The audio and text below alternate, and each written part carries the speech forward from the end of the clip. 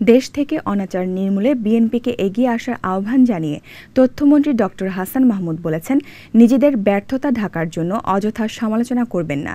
দুপুরে জাতীয় প্রেস ক্লাবে আব্দুস সালাম হলে বঙ্গবন্ধু সাংস্কৃতিক জোটের বিয়াল্লিশতম প্রতিষ্ঠা বার্ষিকী ও বিপ্লবী নারী প্রীতিলতা ওয়াদেদ্দার আত্মাহুতি দিবস উপলক্ষে আয়োজিত আলোচনা সভায় এই আহ্বান জানান তিনি। বিএনপি দেশে মদ জুয়া চালুর হোতা বলে মন্তব্য করেন তিনি। মন্ত্রী বলেন, প্রধানমন্ত্রীর নেতৃত্বে চলমান অভিযান প্রশংসনীয়। কিন্তু যারা এই অভিযানে স্বাগত জানাচ্ছেন না, প্রশংসা করছেন না, এটি তাদের রাজনৈতিক হীনমন্যতা। এ সময় উপস্থিত ছিলেন বঙ্গবন্ধু সাংস্কৃতিক জোট কেন্দ্রীয় কমিটির সভাপতি সারাহ বেগম কবরী, আওয়ামী লীগের উপপ্রচার ও প্রকাশনা সম্পাদক আমিনুল ইসলাম আমিন সহ অন্যরা।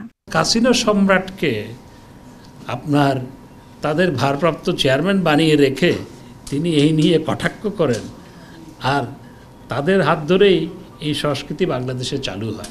রাষ্ট্রকে পরিশুদ্ধ করার লক্ষ্যে আজকে যে সাঁড়াশি অভিযান চলছে, সেটি হচ্ছে রাষ্ট্রকে পরিশুদ্ধ করার লক্ষ্যে, সমাজকে পরিশুদ্ধ করার লক্ষ্যে এবং সব ধরনের অবৈধ, অনৈতিক কর্মকাণ্ড বন্ধ করার লক্ষ্যেই দলমত নির্বিশেষে কে কোন পথের কিংবা মতের সেটি না দেখে আজকে ব্যবস্থা নেওয়া হচ্ছে।